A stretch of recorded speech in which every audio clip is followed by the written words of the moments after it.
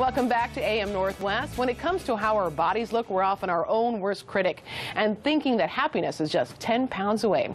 Our next guest was no different, here to share how she stopped focusing on the scale and started to look at something bigger. We welcome Jenny Schatzle. Good to have you with us. Hi, thank you. So tell me about how you came to this realization. And first of all, congratulations on your pregnancy. thank you. That's awesome. Pregnant with twin girls. Oh, that's so great. know. How cool is that? Yeah, six Yeah. months. I got three months to go. Wow. So I feel great, and I'm happy to be here. Awesome. So how did you come to this realization about how body shaming did not help you any? You know, I've been a trainer and in this fitness industry for about 17 years and I've done everything I was supposed to do. I weighed people in, I did measurements, I did their before and afters, and what I realized, and I put people on really restrictive diets, what I realized was people lost weight, but they never kept it off and they weren't happy. Right. You know, they said, oh, if I just lost this 10 pounds, then I would be happy. That's my mindset. If I could just lose 10 more pounds. And here's Yeah. the problem. We're basing our happiness on a number on the scale. Right. Right? On a piece of machinery. Right. I mean, people get up and the first thing they do is weigh themselves and Right. determine if today is going to be a good, good or bad day Yes. based on a number on the scale. Yes. And then the bigger picture is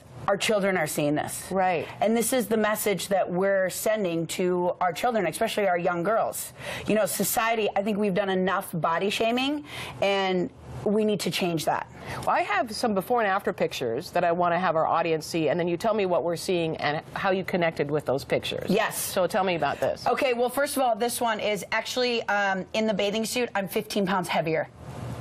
What? Yeah. Then, so then, then the, the, picture on the left? Yep. So the one where I'm in the overalls, I'm 130 pounds, and the one in the bathing suit, I'm 145 pounds. How is that possible? And the only reason I know that is because I no longer weigh myself. It's just I had gone to the doctor, and but the one where I'm in the overalls, I was depressed. Yeah. I was so focused on how much I weighed. My whole happiness was on whether I had gained or lost five pounds. Right. And you know, I really started changing, rewiring the way that I thought about my body and my life, and looking in the mirror. And instead of seeing what needed to change, Right. I started looking at what was right with my body. so how can we do that? So what we need to do is one, we need to stop comparing ourselves to other people. Right.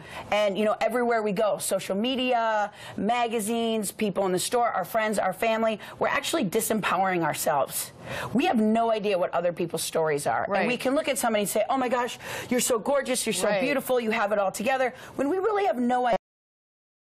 And so we're actually taking our own joy away Mm-hmm. by placing other people on a pedestal. And we need to really focus on what we've got going on. Well, as a fitness trainer, though, uh, some people would say to you, well, it's about health. You should lose the weight because you need to be healthy.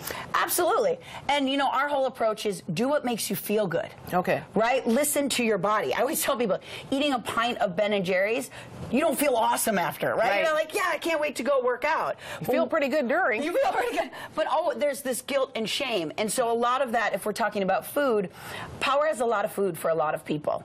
And so once we take that power away and no more, uh, you know, we're not connecting food with guilt and shame, Right. we've actually taken the power back into ourselves. Do you think that this, um, the, the social media aspect of it may have increased like bulimia and anorexia because of so many kids Absolutely. Absolutely. I mean, we are literally putting out unrealistic goals. Right. You know, we 50% of girls ages 5 to 12 are now on a diet. That's alarming. Yeah. Yeah, and and I got to be honest, as mothers, we are producing that in our own homes. Every time we step on the scale, every time we say I'm fat, I need to lose weight, I'm starting a diet, our children hear that. Right. When you you say to start your morning by looking in the mirror and giving an I am statement. Yes. So I'm really big on we are who we say we are. And so many people, so many of us are walking around saying, I'm tired, I'm fat, I'm old. And literally, this is the energy we're creating not only in ourselves, but what we're telling other people. Right. Why are we not walking around saying, I'm smart, I'm successful, I'm fit, I'm healthy, I'm happy, I'm awesome? Could you imagine if you started your day that way? Right, right.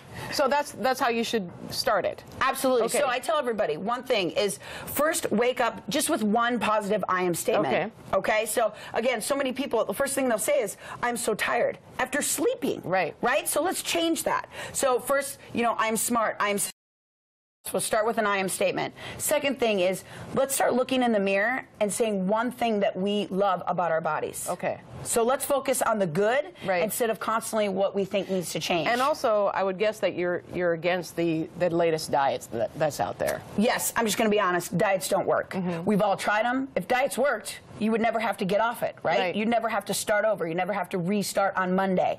You if diets work, we'd all be the size we want to be. So, I really believe in taking the power away from food and putting it back to ourselves. So, what I believe is let's listen to our bodies. Eat what makes you feel good. If something doesn't make you feel good, why do we keep doing it? Right.